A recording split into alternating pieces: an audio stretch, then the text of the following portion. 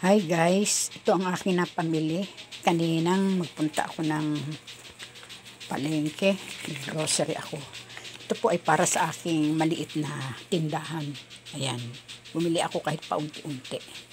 Kasi po ay inya, sinasalit ko lang po yan sa aking pananahi. Itong halaga niyan ay konti lang. Mahigit lang, one, konti lang yan. Ito ay 1,160, 145 at ito namang sigarilyo ay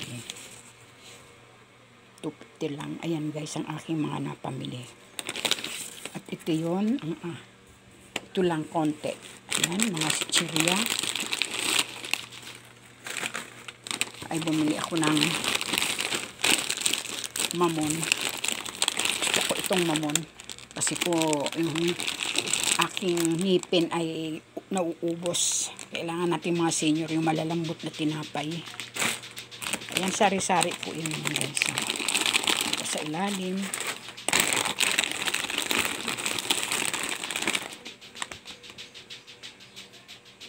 Bumili din po ako nito.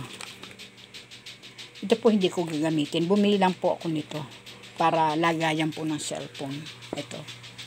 Para po ilagay ang cellphone dito. Ganda po kasi lagayan ng cellphone ito eh. Ayan guys, pag ganyan oh.